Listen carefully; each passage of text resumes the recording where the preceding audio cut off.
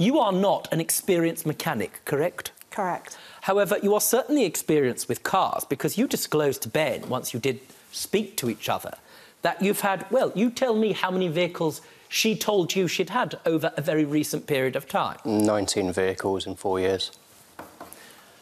Now, when I read that, I needed a moment. You understand? Yes. Unless you're involved partially in going out in camper vans, partially in demolition derbies, I don't even know what that is. Michelle told me about them. Why have you had, what was it, 19 vehicles in? Four years. What do you do with them, madam? Wreck them, I think. It was a slight exaggeration. It was since 2009. I did tell Ben it was in four years, but we have worked out since. It was since 2009. So we're roughly talking the better part of eight years. Yeah. Well, what do you keep getting wrong? Um, things like injectors, clutch, flywheel, cam chain, snapping, cam belt, snapping. I tend to put the vehicle right, lose interest and sell it.